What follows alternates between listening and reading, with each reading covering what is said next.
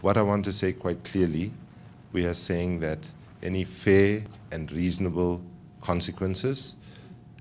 um, we will, as an organization, as a movement,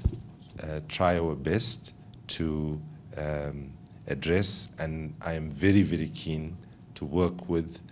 the archaeological community here in Peru,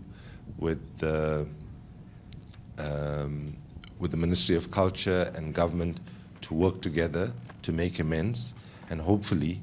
to try to see whether something positive can come out of what was what might have been a well-intentioned uh, uh, protest which just shouldn't have happened at all. I am convinced that um, the young people in particular and, and all those that participated in this protest were driven by a positive intention. But be that as it may, there cannot be any defense for what happened on the Nazca lines, sadly.